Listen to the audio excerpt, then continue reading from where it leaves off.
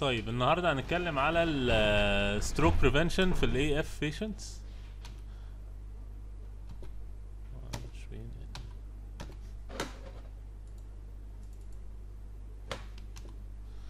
نيجي هنا ال AF growing عملوا study كده في في أمريكا إن ال incidence ال estimated incidence بتاع ال patients اللي هيجوا ب AF في ال year 2050 حوالي 15.9 مليون تمام؟ و associated طبعا with greater morbidity و mortality آه وال morbidities وال mortalities associated مع ال atrial fibrillation طبعا إحنا هنتكلم هنا على ال stroke إن 20 to 30% of all strokes are due to AF تمام؟ وعادة كمان ال patients ما بيبقوش عارفين إنهم AF بنعرفها بعد ما يجي لهم ال stroke بنعرف إن كان بيجي لهم paroxysmal AF تمام؟ و stroke is a serious complication of AF لأن ال stroke اللي بتيجي من ال AF usually more severe than due to other causes. وبعدين معظمهم بيجي لهم aphasia و severe limb weakness وساعات بيبقوا bed ridden on admission. وطبعا longer in hospital stay. تمام؟ وال mortality rate بتاعت ال patients with AF is double في ال في ال patients اللي عندهم normal heart rhythm تمام؟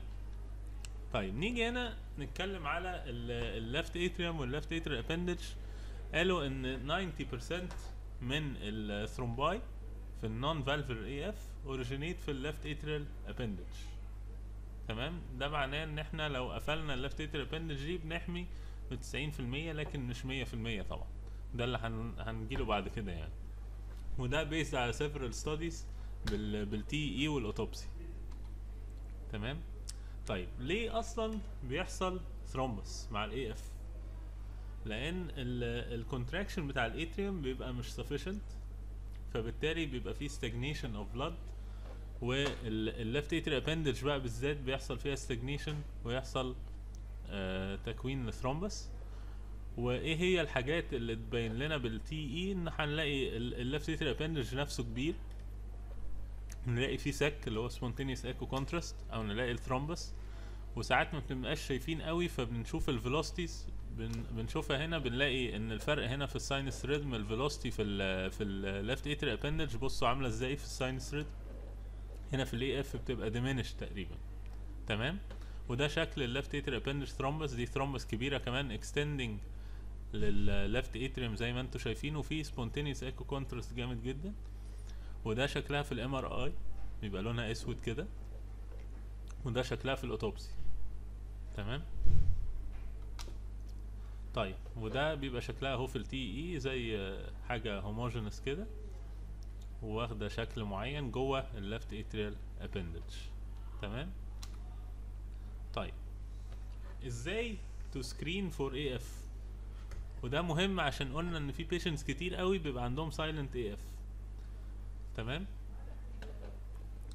إزاي to screen يا إما ب 24 hour Holter ECG وده بي detect only 0.2% من ال patients يا إما 6 24 hour Holter ECGs على على مدى معين.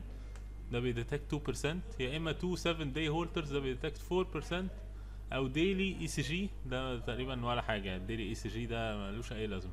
ال implanted device يعني لو واحد مركب اي سي دي مركب في في اي دي دي دي أو سي ار تي الديفايس ده نفسه بيبقى مسجل جواه ال rhythm فنقدر نعرف منه نعمل له interrogation ونعرف لو حصل أي حاجة اسمها الايه ال atrial high rate episodes تمام؟ ودي لسه هنتكلم عليها. دي اللي جابوها في ال guidelines بتاعت 2016 لسه ما اتغيرتش. إن في حاجة اسمها atrial high rate episodes تمام؟ دي اللي بنشوفها بال pacemakers وال ICDs تمام؟ طيب الحاجة التانية واحد جالك عنده أكتر من 65 سنة بنعمل حاجة اسمها opportunistic screening. إزاي؟ إن إحنا نشوف ال pulse بتاعه. لقيناه irregular يبقى نعمل له ECG عشان ممكن يكون AF وهو مش حاسس. تمام؟ طيب. ال patients اللي جالهم قبل كده TIA أو ischemic stroke يبقى يفضل إن إحنا نعمل لهم monitoring 72 hours عشان احتمالية إن يكون بيجي لهم paroxysmal AF وهو ده سبب ال stroke اللي عندهم. تمام؟ طيب. يعني إيه atrial high rate episodes ال atrial high rate episodes دي يعني increased rate في ال atrium أكتر من 180 ويقعد أكتر من 5 to 6 minutes. وده طبعا مش هيبقى detected إلا ب implantable device أو بهولتر أو حاجة. تمام؟ طيب. بنعمل له CHA2DS2-VASc score بعد ما ن detect ال atrial high rate episodes ده بنعمل ال CHA2DS2-VASc score اللي هنتكلم عليه.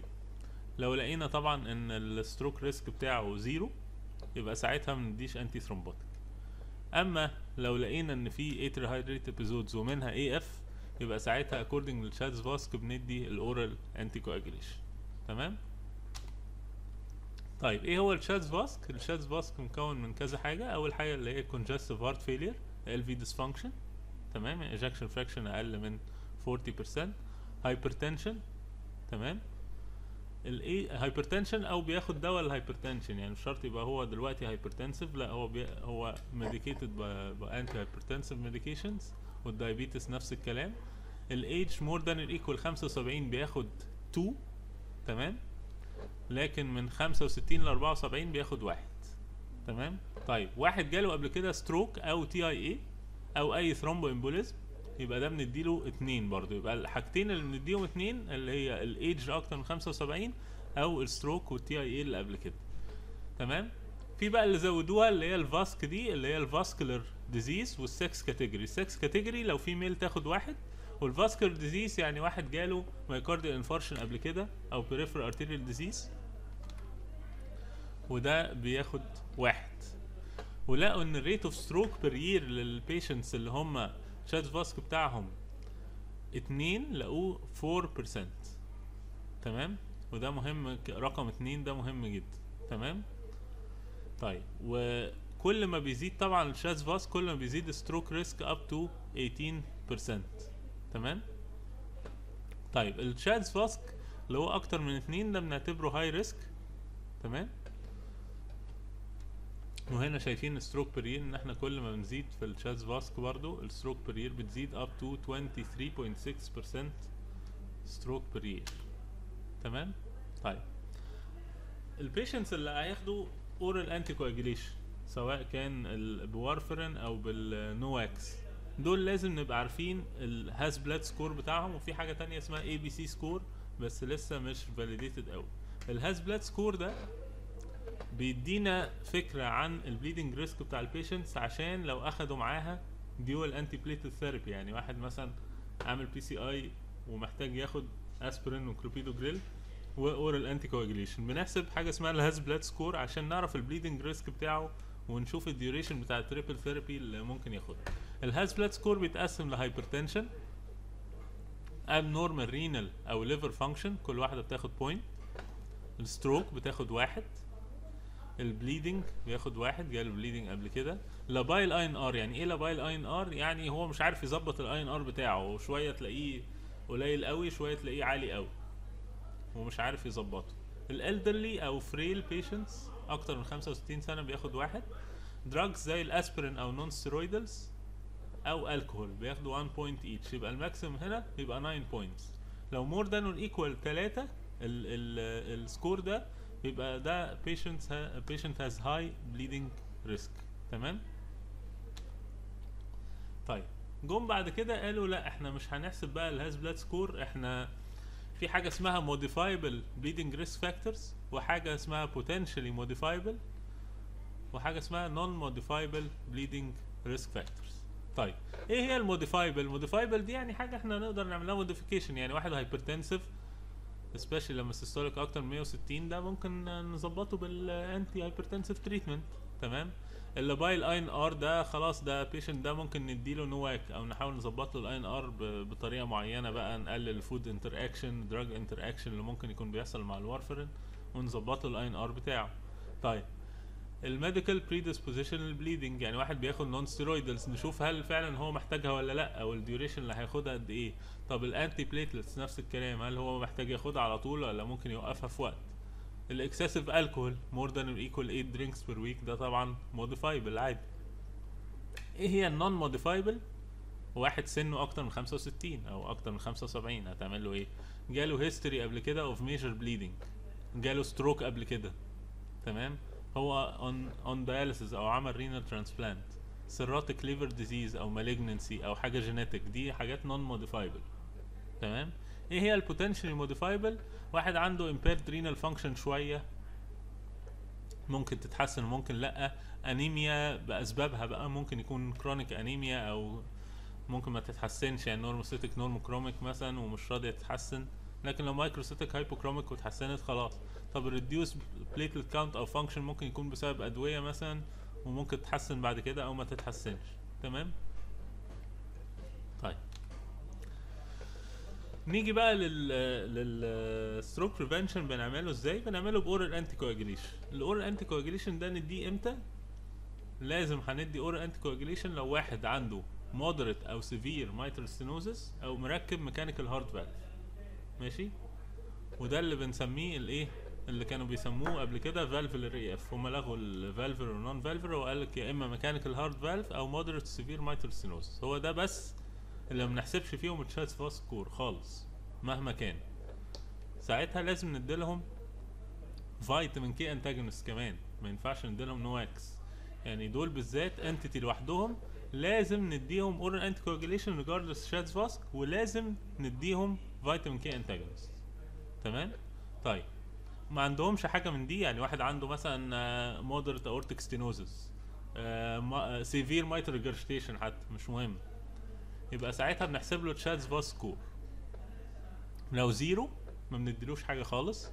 لو 1 ده class 2A إن إحنا نديله oral anticoagulation لو more than or equal 2 يبقى ده اللي لازم ده class 1 إن إحنا نديله oral anticoagulation oral anticoagulation ده قد يكون vitamin K antagonist أو بال NOACs والاثنين class 1 بس طبعا ال preferred هو ال NOACs تمام؟ طيب.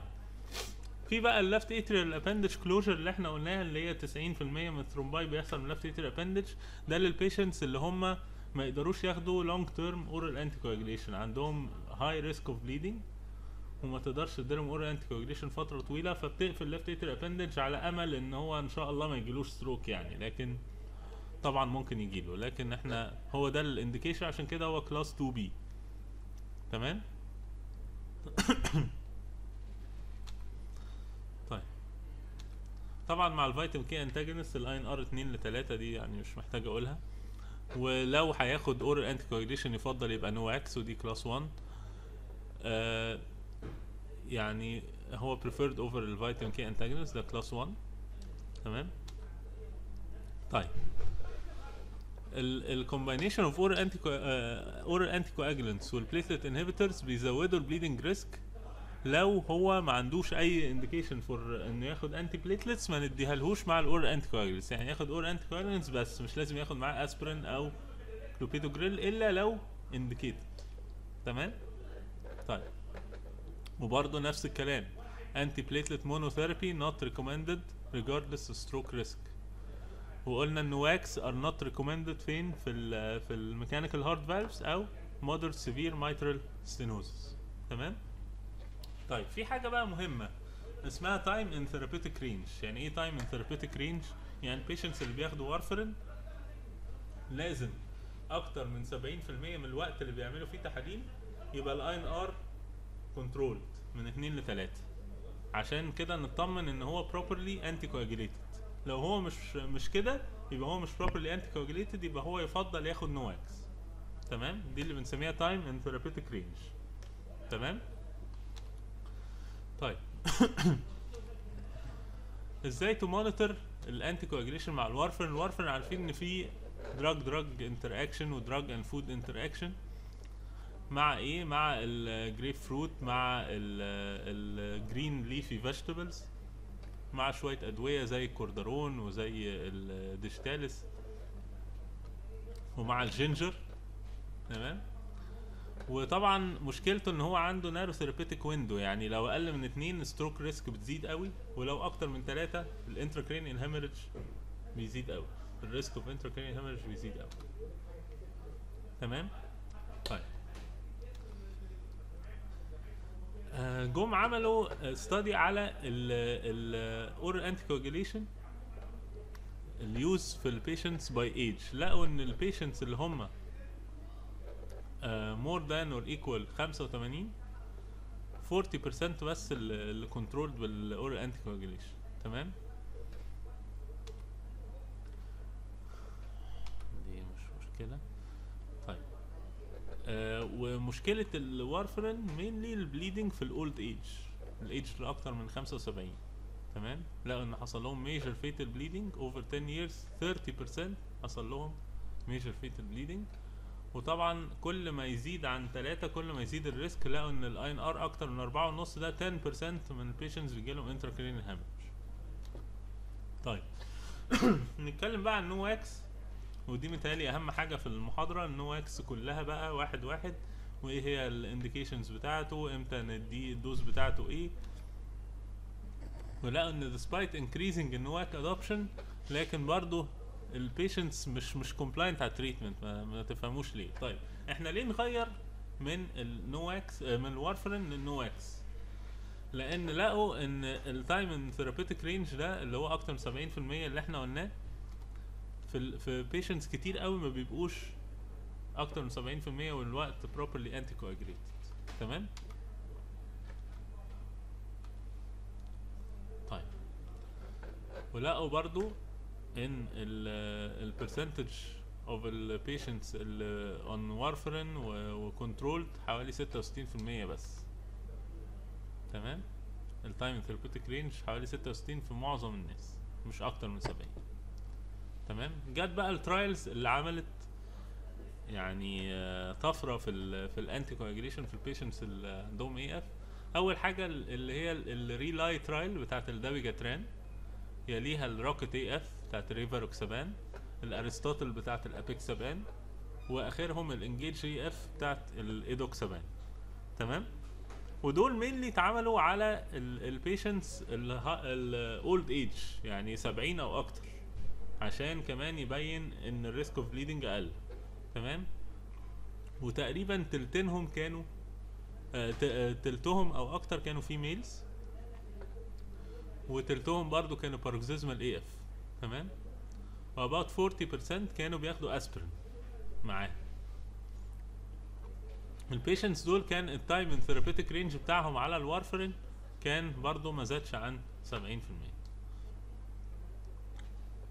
المهم بقى بالذات في ال في ال patients اللي هم في ال ROCKET AF اللي هو بتاع ال rivaroxaban وفي ال edoxaban إن هم كانوا معظم الناس ال CHA2DS2-VASc بتاعهم 3 ل 6 يعني بصوا هنا وده مهم جدا لإن هم دول ال high risk of stroke في ال rivaroxaban كان 87% كان CHA2DS2-VASc بتاعهم 3 ل 6 وفي ال ENGAGE AF كان حوالي نصهم ال CHA2DS2-VASc بتاعهم 3 ل 6 والنص التاني كان 2 لكن نيجي هنا لل apixaban وال dabigatran هنلاقي إن تلت ال تلت ال patients كانوا ال CHA2DS2-VASc بتاعهم 0 to 1 وده يعني برضه غريب يعني أنت أصلا zero أنت مش هتديله حاجة فأنت يعني ده بيقلل شوية ال credibility بتاعت ال- ال trial تمام؟ طيب. ال bleeding risk ال warfarin هو ال main cause of bleeding في كل الأدوية. About 46% في ال emergency visits due to bleeding are due to warfarin تمام؟ طيب. إيه هما ال NOACs وبيشتغلوا إزاي؟ طبعا إحنا عارفين إن في factor 10 اللي هو ال thrombin و factor 2 اللي هو البروثرومبين في حاجات direct thrombin inhibitors اللي هما ال rivaroxaban وال apixaban وال edoxaban في حاجات indirect thrombin inhibitors اللي هما factor 2 inhibitor اللي هو ال dabigatran. طيب الفرق ما بين ال warfarin وال NOACs إيه؟ إن ال NOACs rapid onset fixed dose ما بنتابعهمش خالص مفيش أي monitoring ال drug interactions قليلة. والاوفست بتاعهم شورت يعني انت توقفيه يوم خلاص انت خلص ال effect بتاعه. ال warfarin ممكن يمتد شوية الاوفست بتاعه. طيب هل في certain food بتأثر عليه؟ لا. مفيش. لكن ال warfarin طبعا زي ما قلنا في حاجات بتأثر عليه. تمام؟ طيب. يهمني نعرف ال renal clearance بتاع ال drugs. ال dabigatran بالذات 80% renal cleared ده يهمنا إن إحنا هنحسب ال creatinine clearance بتاع ال patient ونشوف هنديله dabigatran كام. تمام؟ ال rivaroxaban وال apixaban حوالي 30% وال edoxaban 50% تمام؟ وال cytochrome P 450 برضو يعني مش بيتأثروا بيه قوي. بالذات ال dabigatran ما بيتأثرش بيه خالص. طيب. نيجي هنا. ال dabigatran هو الوحيد ال prodrug لأن هو بيأثر على ال factor 2 على البرو ثرومبين تمام؟ مش direct thrombin inhibitor تمام؟ هو prodrug وبعدين ال bioavailability بتاعته في الأول بتبقى 6% على عكس ال rivaroxaban إن هو أول ما بيتاخد ال bioavailability بتاعته بتبقى 80% والتانيين 60 و 62% عشان دول مش prodrugs مش لسه هيتحولوا لل- لل active drug تمام؟ طيب وكلهم ما بيحتاجوش monitoring طيب آه الحاجة المهمة التانية آه ال drug interactions بالذات مع ال dabigatran بقى. ال dabigatran في drug interaction مع الأميدارون. وال verapamil بالذات. amiodarone وال verapamil دول مهمين قوي. ال interaction بتاعهم مع ال dabigatran وده بيأثر على ال effect بتاعه. هنتكلم عليه بعد كده. طيب آه عايزين بقى ال drugs بقى. قلنا ال dabigatran ده بيتاخد آه، 150 أو 110 twice daily تمام؟ وهنقول إمتى بناخد 150 وإمتى بناخد 110 ال rivaroxaban 20 مللي جرام once daily ال apixaban زي ال dabigatran بيتاخد twice daily خمسة أو اتنين ونص حسب برضو حاجات هنقولها. طيب ال edoxaban 30 أو 60 ده once daily يبقى الحاجات اللي بتاخد مرتين اللي هي الدابيجاتران أو الابيكسابان أما الريفاروكسابان والايدوكسابان ده بيتاخدوا once daily تمام؟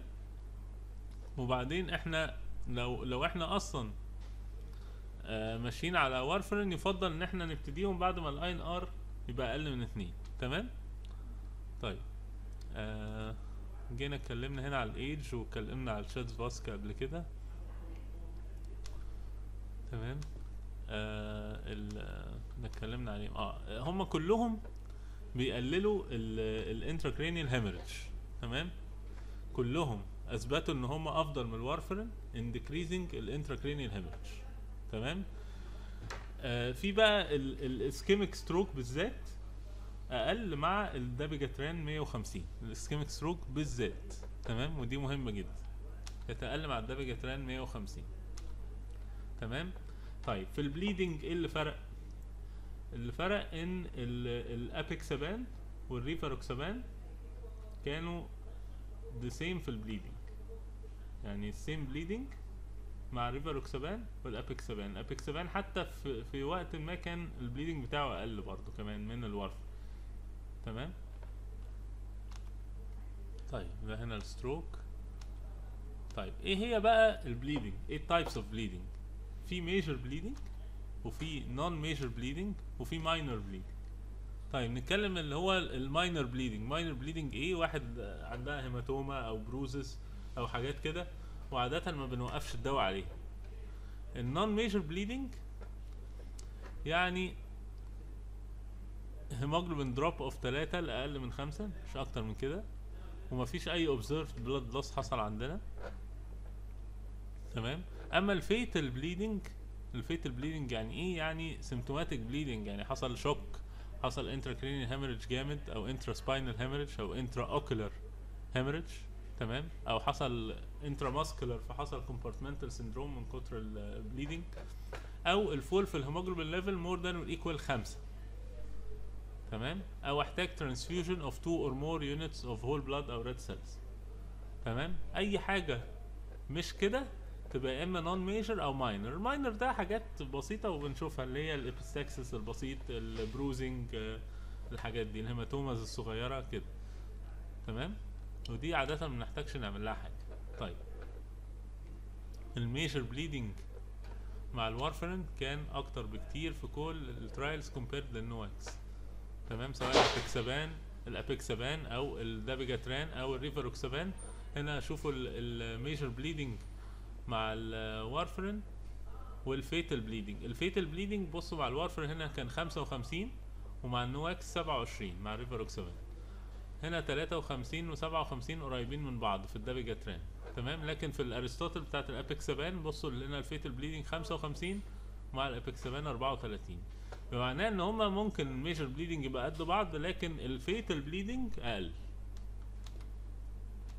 طيب where is the bleeding قلنا طبعا إن ال NOACs أحسن في ال intracranial hemorrhage لكن معظم ال NOACs بيعملوا gastrointestinal bleeding ده بيبقاش fatal لكن بيبقوا أكتر من ال warfarin في ال gastrointestinal bleeding وبالذات في ال gastrointestinal bleeding بقى يفضل نستخدم يا إما يعني يفضل ما نستخدمش ال dabigatran 150 أو ال edoxaban 60 تمام؟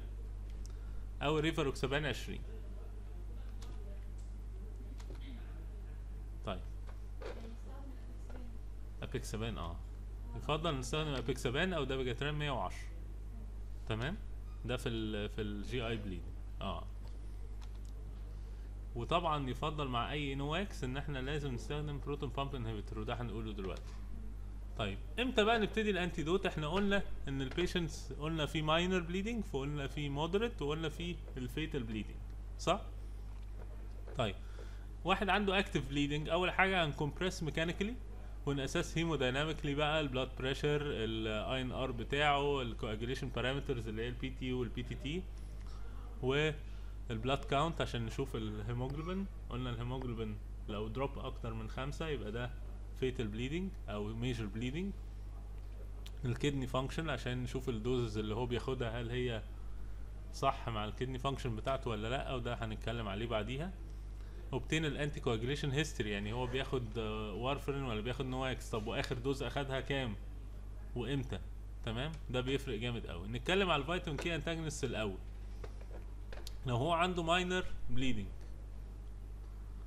ماشي يبقى ساعتها هن... هنوقف ال vitamin K antagonist لحد ما ال INR يبقى أقل من اتنين وبعدين نرجع نظبطه تاني. طب لو هو moderate severe bleeding moderate severe bleeding أول حاجة fluid replacement أو blood transfusion ونشوف ال cause of bleeding يعني مثلا gastrointestinal يبقى نعمل gastroscopy نشوف ممكن نكوي حاجة أو نعمل حاجة. وممكن ن consider ندي vitamin K IV تمام؟ لو هو moderate severe bleed أما لو severe أو life threatening bleeding يبقى ساعتها لازم ندي fresh frozen plasma أو platelet concentrate platelet complex concentrate تمام؟ ده مهم جدا. طيب ال NOACs بقى. ال NOACs لو هو minor bleeding قلنا إن الاوفست بتاعتهم 24 hours بس. يبقى إحنا ن delay 1 dose أو 1 day تمام؟ أما لو moderate severe bleeding نفس الكلام. وبالذات مع ال dabigatran ممكن يبقى يتسحب بال oral charcoal اللي هو الفحم. تمام؟ لو recently ingested طب لو severe أو life threatening bleeding يبقى ساعتها هنتكلم بقى على ال antidotes بتاعتهم. في بقى antidotes معينه لل NOACs هنتكلم عليها. طيب how to minimize بقى ال bleeding قلنا بقى kidney function kidney function مهمة بالذات قلنا مع ال dabigatran إن هو 80% renal clear تمام؟ نتكلم على واحد واحد. ال rivaroxaban لو creat clearance more than equal 50 بياخد ال 20 عادي. أما لو أقل من 50 لحد 30 بياخد 15 تمام؟ وال rivaroxaban قلنا بيتاخد once daily ماشي؟ طيب ال apixaban في ثلاث حاجات نبص عليهم ال body weight ال age وال serum creatinine. ده الوحيد اللي بنشوف ال serum creatinine ما بنشوفش ال creatinine clearance ال serum creatinine لو أقل من واحد ونص يبقى بناخد خمسة مللي جرام عادي. أما لو more than or equal واحد ونص زائد واحد من دول يعني مش لوحده. يعني مش more than equal واحد ونص لوحده لازم يبقى معاه واحدة من دول. age more than or equal 80 أو body weight less than or equal 60 يبقى ساعتها بندي الاتنين ونص. ده ال indication الوحيد الاتنين ونص. غير كده بندي خمسة.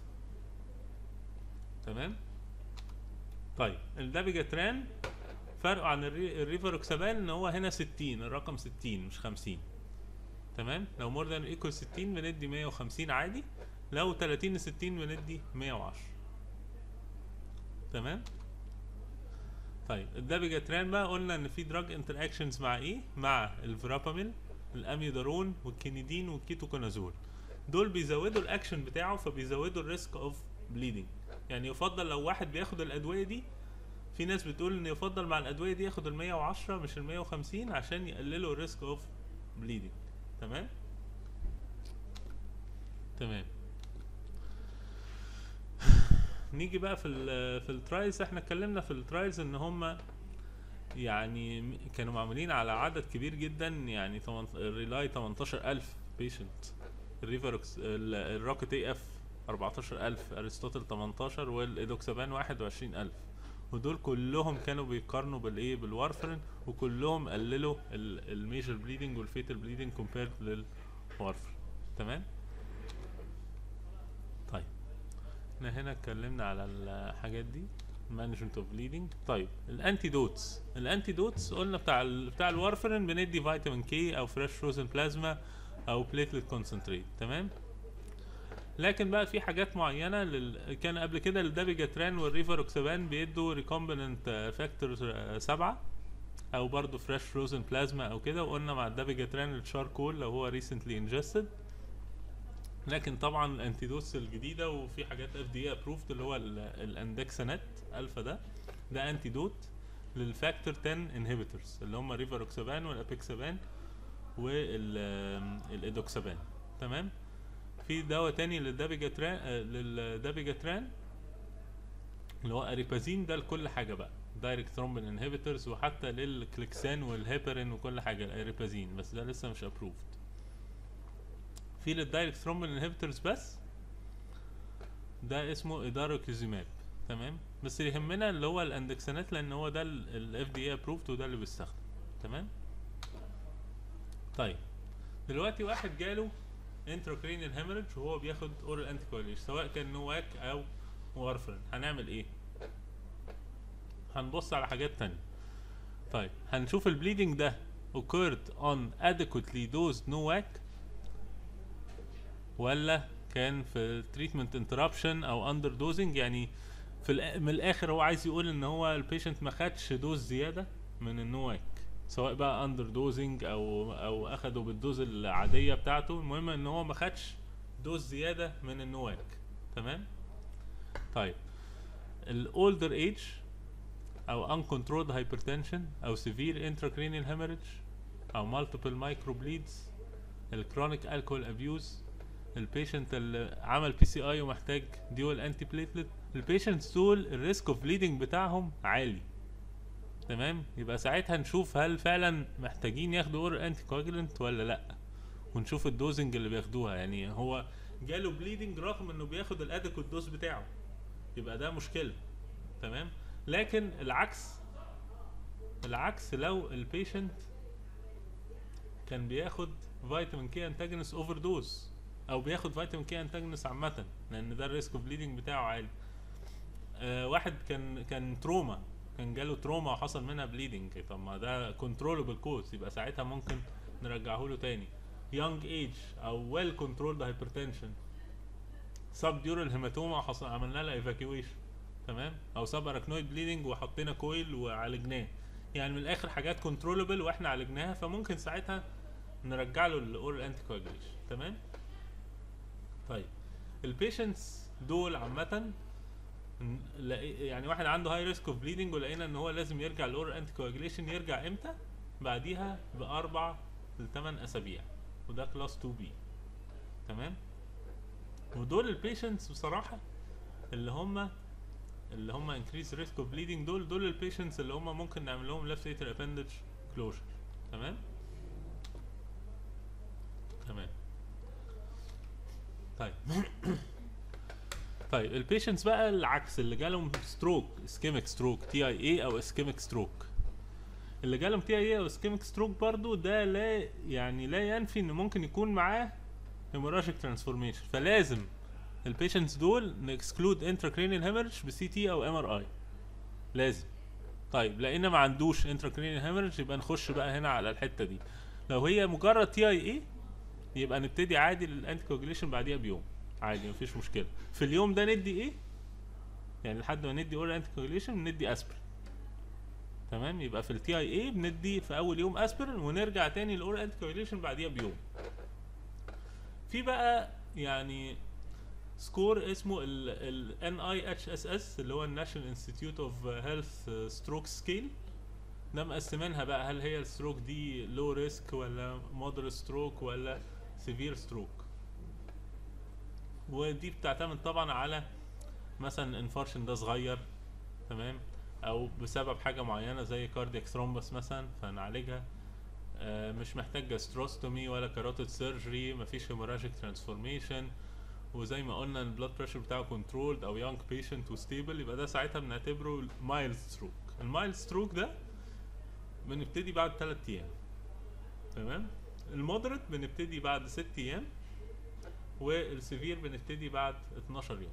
لكن في ال moderate وال severe برضو لازم قبل ما نبتدي يعني هنا قد إيه 6 أو قد إيه 12 لازم بنعمل CT أو MRI عشان to exclude hemorrhagic transformation برضو. يبقى إيه بنعملها في الأول وبنعملها تاني بعد 6 أيام أو بعد 12 يوم لو هو moderate أو severe stroke تمام طيب when to stop before procedures. واحد داخل يعمل عملية. هنعمل إيه؟ طيب ال rivaroxaban قبليها ب 24 hours. تمام؟ ال apixaban لو هو major risk of bleeding بنوقفها قبلها بيومين. لو هو low risk of bleeding بنوقفها قبلها بيوم. ال edoxaban برضو 24 hours زي ال rivaroxaban طب ال dabigatran قلنا عشان هو 80% renal cleared فيعتمد على ال creat clearance لو ال creat clearance بتاعه كويس أكتر من 50 يبقى 1 to 2 days. لو أقل من 50 هيبقى renal cleared أقل فال effect بتاعه هيبقى مستمر شوية فنستنى من 3 ل 5 أيام.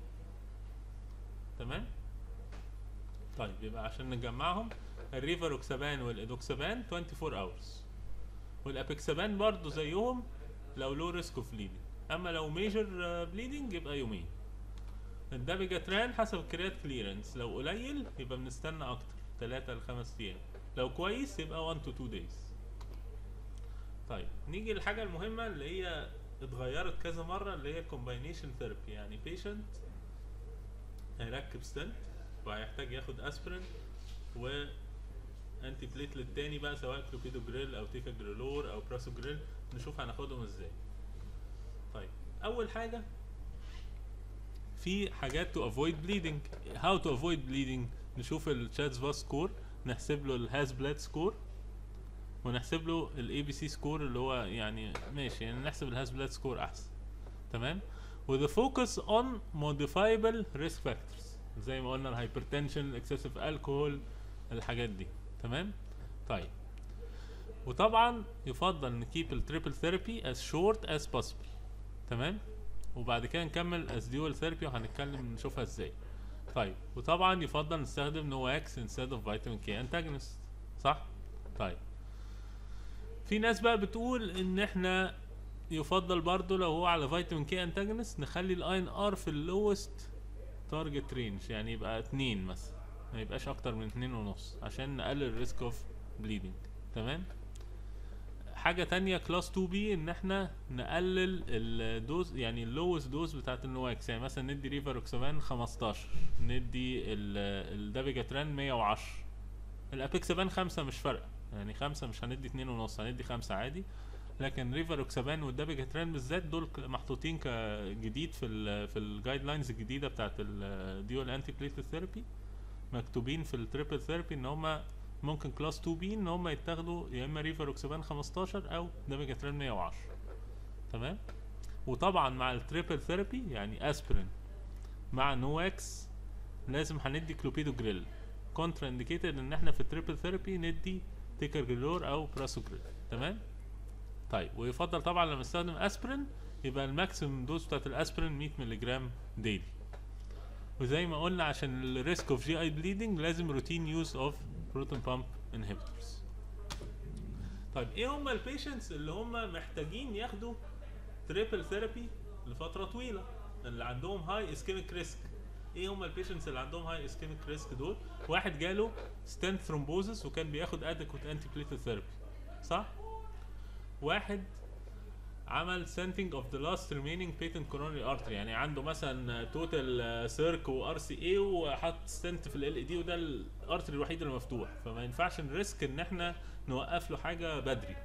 تمام؟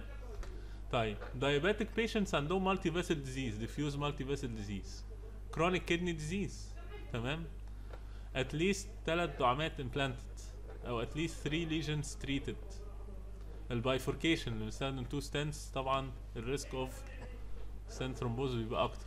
ال total stent length أكتر من 60 مللي أو treatment of CTO يعني أي واحد عامل CTO يفضل إن هو ال triple therapy بتاعته دي هنتكلم عليها تبقى أكتر من شهر up to 6 months. تمام؟ طيب.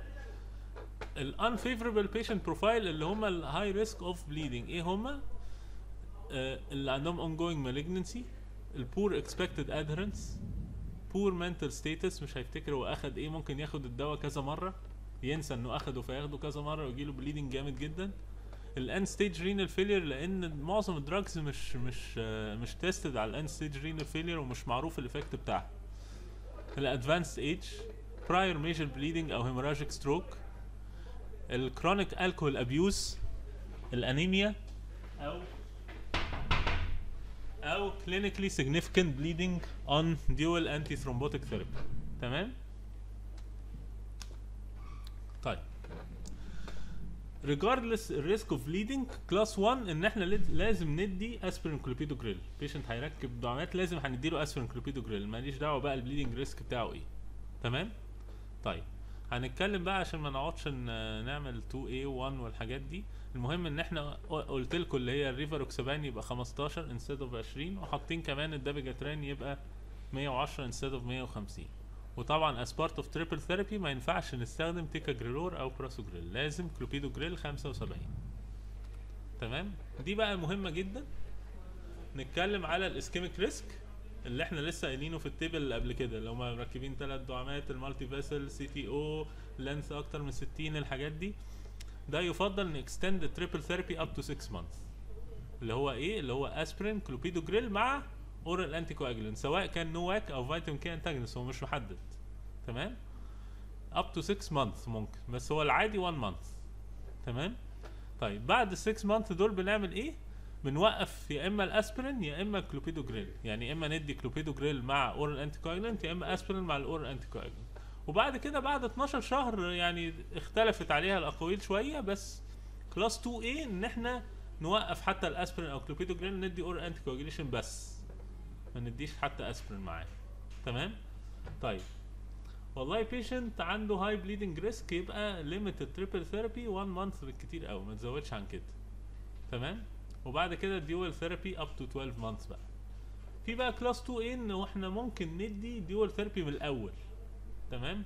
ولكن هنا بيبقى على حساب بقى ال ischemic risk. ممكن يجي له أو كده. لكن ده بقى طبعا لو واحد عنده bleeding risk عالي قوي وال bleeding risk أكتر من ال ischemic risk بكتير. يعني مركب دعامة مثلا في ال في OM كده وخ يعني حتى يعني لو حصل فيها مشكلة بس هتبقى يعني ال bleeding risk بتاعه أهم من ال ischemic risk.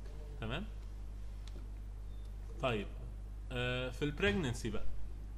في ال pregnancy ال anticoagulation بنديه إزاي؟ عشان to minimize ال teratogenic risk وال intracranial bleeding يفضل في ال first trimester ندي dose adjusted heparin تمام؟ يفضل الهيبرين أو ال vitamin K antagonist ال dose بتاعهم يبقى أقل من خ... than or equal 5 مللي جرام ما يزيدش عن كده ال warfarin ما يزيدش عن 5 مللي جرام تمام؟ طيب بعد كده نكمل على إيه؟ نكمل على warfarin warfarin لحد إمتى؟ لحد آخر شهر. لحد آخر شهر خالص في الحمل. before delivery 2 to 4 weeks before delivery نرجع تاني لل dose adjusted heparin تمام؟ وده class 1 خلاص يعني متفق عليه تمام. طيب نو إكس طبعا كونترا انديكيتد يبقى نو إكس كونترا انديكيتد في إيه؟ في ال في ال pregnancy أو planning ال pregnancy قبليها حتى يعني بيقول لك planning ال pregnancy دي قبليها بثلاث شهور كمان. يعني قبل ثلاث شهور من planning ال pregnancy ده class 3 إن إحنا ندي NOACs تمام؟ طيب.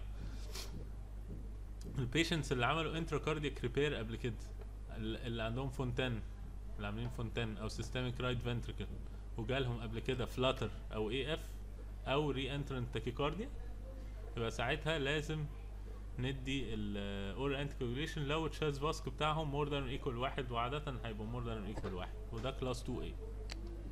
تمام؟ طيب ال patients اللي عندهم hypertrophic cardiomyopathy دول ما بنحسب لهمش ال CHA2DS2-VASc تمام؟ لو جالهم AF ما بنحسب لهمش ال CHA2DS2-VASc بندي على طول anticoagulation وده class 1 طيب في شوية كده points معينة بقى إحنا قلناهم اللي هي ال ECG screening في ال high risk population special ال elderly اللي أكتر من 65 قلنا بنعمل opportunistic screening بال pulse ولو لقيناه irregular بنعمل ECG تمام؟ ولازم طبعا ما ينفعش ندي oral anticoagulation without documented AF يعني مش واحد انت شفت ال pulse بتاعه كده irregular هتدي له oral anticoagulation لازم يبقى حاجة documented سواء ب ECG أو سواء بهولتر أو implantable device لقى ال atrial high rate episodes تمام؟ بعد كده آه، يفضل إن إحنا to reduce all modifiable bleeding risk factors اللي إحنا اتكلمنا عليهم ال hypertension ال non-steroidals ال antiplatelet therapy نقلل ال timing بتاعهم وال dosing بتاعهم treating الانيميا maintaining stable INR values في ال patients اللي على ال vitamin K antagonist ال alcohol intake نقلله ده modifiable bleeding risk factor. تمام؟ ال atrial flutter بنعملهم زي ال AF بالظبط. تمام؟ طيب. قلنا إن don't use antiplatelet therapy for stroke prevention AF يعني ما فيش بقى يعني يا إما ما تديش خالص يا إما تدي oral anti موضوع بقى الاسبرين بس ده خلاص انتهى. تمام؟ Don't permanently discontinue oral anticoagulation اللي هم عندهم increased risk of stroke unless such a decision is taken by a multidisciplinary team يعني هو عنده بقى very high risk of bleeding مش هينفع نديله oral anticoagulation ودول برضه اللي بنعمل لهم ال left atrial appendage closure تمام وده اللي قلنا كلاس 2B تمام اللي ما عندهمش reversible cause of bleeding طيب إحنا كده خلصنا stroke prevention AF فاضل لنا left atrial appendage closure ده mainly لل... للدكتوراه لأن في بقى trials كتير وفي مين الدكتوراه بقى فيكم؟ طيب اتنين. طيب نص اللي قاعدين يعني. آه طيب هنتكلم بقى على ال left atrial appendage ال left atrial appendage مش بيبقى نفس الشكل في كل الناس. في كذا شكل. في في حاجة اسمها chicken wing appearance في الكاكتس زي الصبار تمام؟ في ال windsock تمام؟ وفي زي ال broccoli شكله زي ال broccoli كده تمام؟ وطبعا كل ما يزيد الشكل ده كل ما يزيد ال risk of thrombus formation لأن هيحصل stagnation في حتت كتير تمام؟ عشان كده ال risk is 6 times في ال non chicken wing يعني بص ال chicken wing عامل زي كبير تمام؟ لكن الحاجات اللي فيها تفرعات كتير دي بيبقى ال risk of stroke فيها أعلى تمام؟ وطبعا كل ما يزيد ال left atrial appendage volume وكل ما يقل ال size بتاع ال ostium كل ما ال risk of stagnation بيبقى أكتر. تمام؟ طيب. إيه هي ال devices بقى؟ في كذا device هنتكلم على حاجات معينة. أول واحدة اللي هي ال PLAATO device دي دي كانت كانت معمولة عشان تقفل ال left atrial appendage دي. أول حاجة اتعملت خالص فيها زي anchors كده عشان تمسك في ال wall بتاع ال left atrial appendage وتقفله. دي ناحية ال left atrial appendage ودي ناحية ال left atrium تمام؟ عايز أوريكم بقى ال Watchman ال Watchman دي أهم واحدة ودي اللي هي ال FDA approved واتعمل عليها كذا trial تمام؟ developed في 2003 تمام؟ واتعمل عليها أول trial خالص اللي هي proof of concept إن إحنا لو قفلنا فعلا ال left atrial appendage ال risk of stroke هتقل. ده اسمه proof of concept اسمها PROTECT AF trial تمام؟ طيب أول حاجة ال Watchman دي عبارة عن إيه؟ زي mesh كده وفي anchors جوه من ناحية ال left atrial appendage عشان يمسك في ال wall كويس ويشبك في ال wall ما يتحركش. تمام؟ وده شكله من الجنب. يبقى فيه زي membrane كده. ال membrane ده طبعا بيتغلف بقى بعد كده بال wall بتاع ال atrium وبيقفل خالص. تمام؟ طيب. وفي ال ال ال sheath بتاعه. ال sheath بتاع الدليفري بتاعه. إحنا طبعا عشان نخش هوريكم فيديو إزاي بيتعمل يعني. لازم طبعا to assess بقى. to assess أول حاجة ال shape بتاع atrial appendage وال TEE تمام؟ وال ostium وال neck ال neck دي اللي هي فين؟ اللي هي هنا. بص ده ال circumflex هنا. ده بداية ال neck وده الحتة اللي بنحط فيها ال device عند ال neck هنا وتبقى طالعة حتة منها في ال ostium تمام؟ وبنحسب في كذا angle أهمها الايه ال 90 وال 135 تمام؟ دول مهمين جدا عشان يورونا ال- الشكل كمان عامل إزاي. طيب هنا هو بيحسب أهو. هنا دي ال ostium اهي هنا. وأدي ال circumflex بيبقى هنا. يبقى ده ال neck بيحسب ال size بتاع ال neck عشان يحسب الايه ال device مقاسه قد إيه. قلنا ال maximum diameter بتاع ال Watchman device بيبقى عند ال neck عشان كده بيحسب ال size بتاع ال neck وال والحاجات ال anchors دي بتمسك بقى في ال wall طيب في حاجات معينة بقى هنعملها. أول حاجة اللي هي ال position نسميها إيه؟ ال PASS ال PASS دي تتقسم ل position يعني ال device بيبقى just distal لل ostium مش عند ال ostium بالظبط بيبقى جوه شوية ناحية ال neck ال anchor بنتأكد إن هو stable يعني بعد ما نحطه بنا- نا- نعمل حاجة اسمها tug test يعني بنزق ونشد كده نشوف هيتشد معانا ولا لا. تمام؟ لو اتشد معانا يبقى ال size غلط أو إحنا مش حاطينه صح. تمام؟ ال size قلنا ال device compressed at least 8 to 20% of ال original size فلازم نبقى حاسبين ال neck كويس ونحسب ال size كويس عشان ما. ما يطلعش معانا. تمام؟ آه seal يعني هو كل مقفول تماما ممكن up to 2 ملم بس difference 2 ملي بس difference في القفل. يعني لو عدى حتة صغيرة كده من فوقيه up to 2 ملي مش مشكلة. لو بيعدي جواه برضو مش مشكلة. زي زي في ال ASD closure والحاجات دي.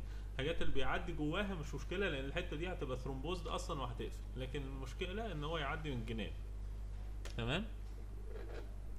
طيب. قلنا just distal left atrial appendage ostium ده هن... هنوريكم بقى الفيديو. ده بيبقى شكلها وهي محطوطة في ال left atrial appendage. تمام؟ وبنحسب ال device size according للإيه؟ لل neck size وقلنا إن هي بيحصل لها compression up to 8 to 20% فال 24 مثلا ممكن يوصل 19 تمام؟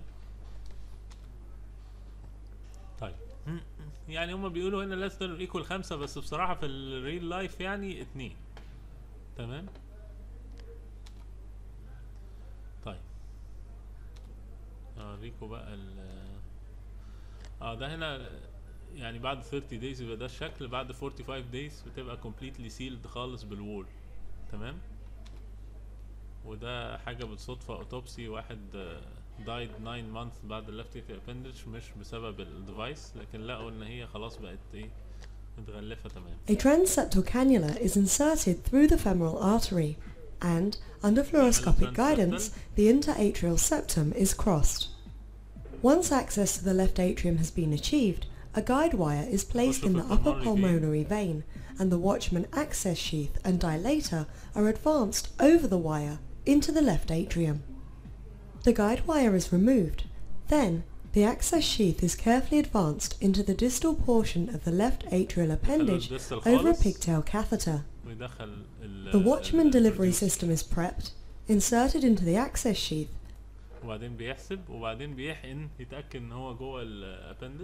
and slowly advanced. The Watchman device is then deployed into the left atrial appendage. The device release criteria are confirmed by او a بصوا بيعمل ايه يزق ويسحب عشان ده اللي بنسميه التاك تيست يتأكد ان هي ماسكة كويس في ال في الوول fluoroscopy and transesophageal بعد كده يحقن عشان echocardiography, يطمن and the مفيش حاجة device is حواليه. released. تمام بعد كده يعمل ريليس للديفايس خلاص Preclinical studies completed on the Watchman implant indicate that an endothelial layer covers the device in about 45 days. تمام زي ما قلنا بعد 45 days تبقى هي سيل تماما وده ال- الفيديو بقى يعني هو بيدخلها في ال upper pulmonary vein تمام؟ وبعد كده يدخل ال delivery system بتاعها. ال patient طبعا راكب pacemaker و mechanical valve ومركب كذا حاجة. touch me like I'm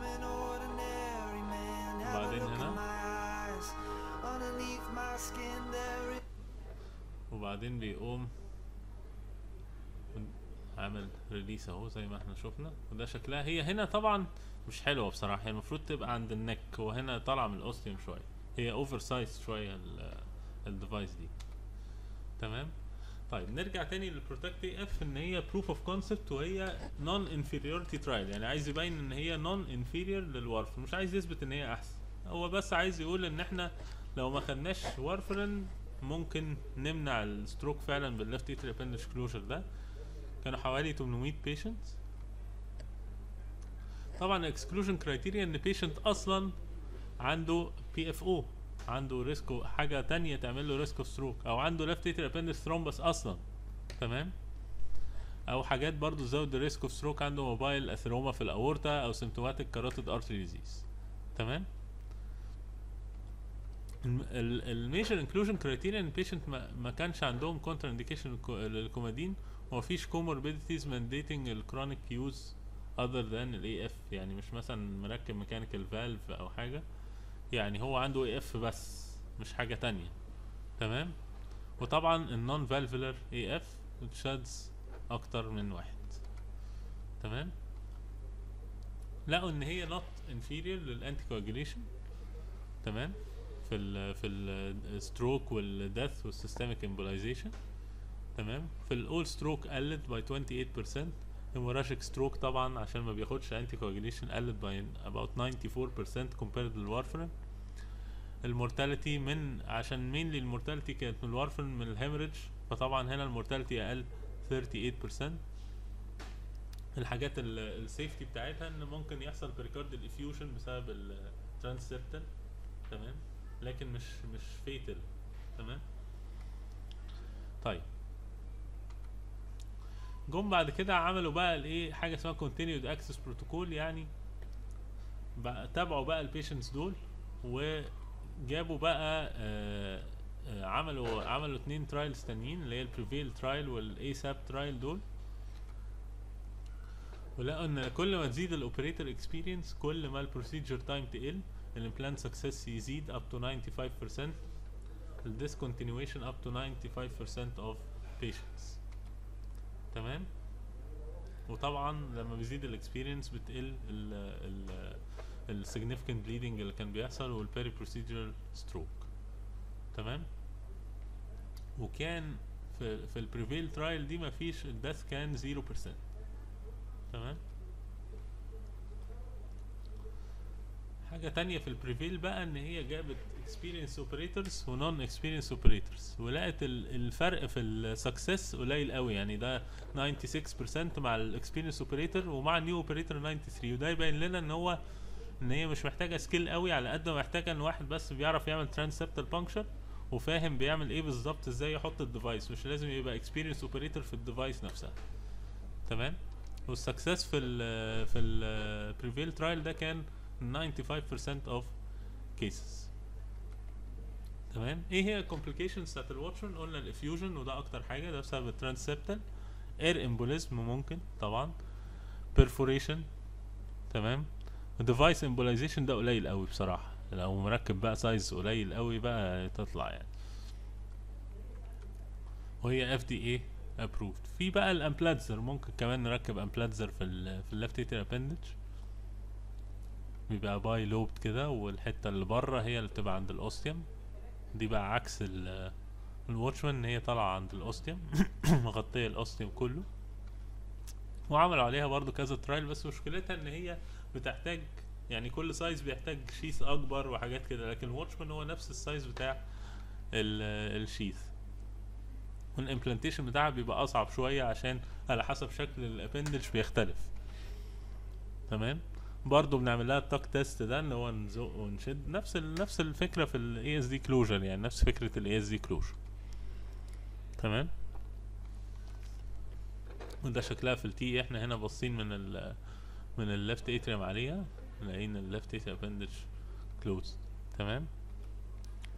وبعد كده بنحقن صبغة نتأكد إن مفيش أي حاجة من حواليها. جواها مش مشكلة لكن حواليها هي المشكلة. وده إزاي بنركبها؟ نفس الكلام. برضو بنحقن وبعد كده بنقوم مدخلين بقى الايه؟ ال device. أول lobe وبعدين تاني lobe. برضو بنعمل ال tug test ده. وبعد كده نعمل release ونحقن نتأكد إن مفيش حاجة حواليه. تمام؟ طيب.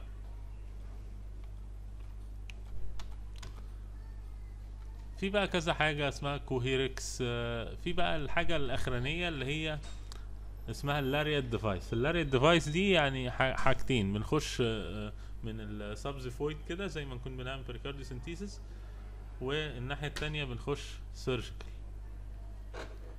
نشوف ممكن نخش surgical برضه subxiphoid يعني subxiphoid و transseptal الاثنين يعني كأننا بنعمل pericardiocentesis نخش من تحت والناحية التانية نخش من فوق من transseptal تمام؟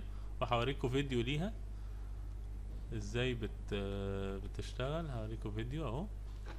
إن هنا بنخش transseptal ونخش من الناحية التانية subxiphoid يعني pericardial كده. وبعدين ندخل زي magnet كده في ال في ال left atrial appendage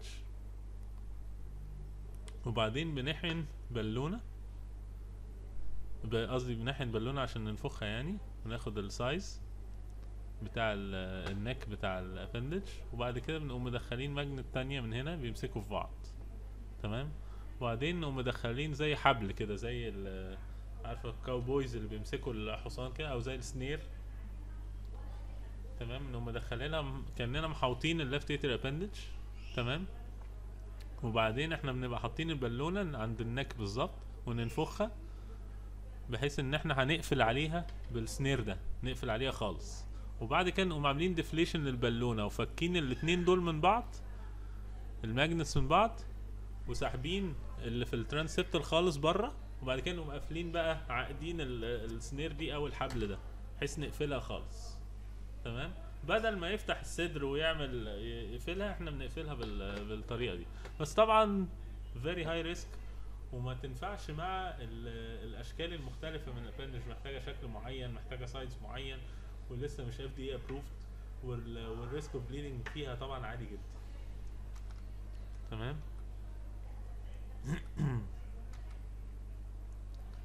حاجات بقى تانية يعني حاجات بقى أسامي تانية لل occluders تمام؟ ففي الآخر ان ال device occlusion has impressive results في ال left atrial appendage closure و further improvement expected with operator experience and newer generation devices وهي recommended only for patients with high risk of stroke و contraindication for anticoagulation وبعد كده هنبتدي بقى لو هي فعلا اثبتت ان هي تنفع من غير ما ناخد warfarin يبقى كل الناس بقى يركبوا left appendage closure وما ياخدش warfarin ولا ياخد oral anti خالص وده ما اظنش ان هو هيحصل. أوكي؟ في اي اسئلة؟